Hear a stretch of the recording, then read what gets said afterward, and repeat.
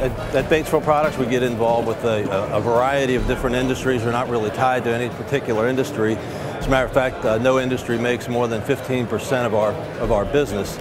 I am Terry McCarthy, Vice President of Sales with Batesville Products, and uh, we are a permanent mold casting facility located in Lawrenceburg, Indiana, and we also have a plant in Aurora, Indiana. We are a, uh, a full-service company. We, we uh, specialize in engineering support using SolidWorks software. Uh, we have the casting operation, permanent mold casting operation with about 35 casting machines, a variety of permanent mold machines featuring tilt pour, reverse tilt pour, and standard permanent mold. Uh, down at our Lawrenceburg facility is where we get into secondary machining, a lot of CNC, vertical and horizontal machining centers and turning centers. We also have a full inspection lab there with coordinate measure machines and uh, that is very necessary and vital to supporting uh, our business. Uh, a typical customer of ours, uh, we do a lot in the, in the medical area, for example.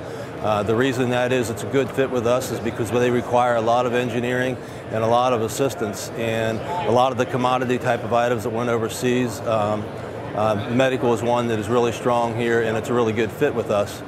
This is a, uh, a base uh, for a medical cart that is used obviously in hospitals and originally was a steel weldment and our engineering department worked closely with our customer to help them redesign the steel weldment into a really good workable casting. Um, and this is kind of a typical part for Batesville products in that we, being full service, we not only help them with the design, but after the castings are produced, we do the secondary machining and we get the powder coated finish and then supply it completely ready to assemble for our customer. Um, it's actually a lot better as, as, a casting versus the previous weldment in that it actually saved, saved money.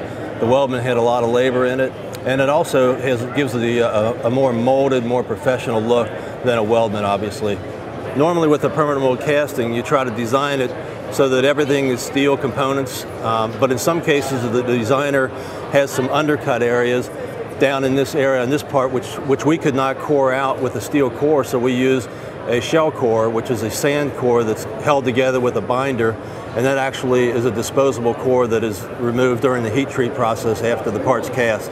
This actually is a housing for a tactical power supply, and the end customer is the Army, and we actually produce the casting, and this is a very unique part in that it's a six-parted permanent mold casting, very extremely complex part uh, from a molding perspective.